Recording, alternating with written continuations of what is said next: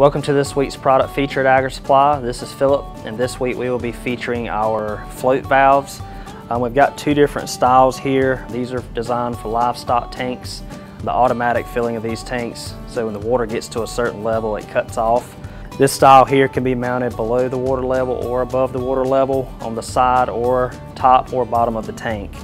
And this one here has to be mounted below the water level. To visit one of our nine retail locations or visit us online at agrisupply.com, our knowledgeable and friendly teams look forward to seeing you. Agri Supply, it's what's inside.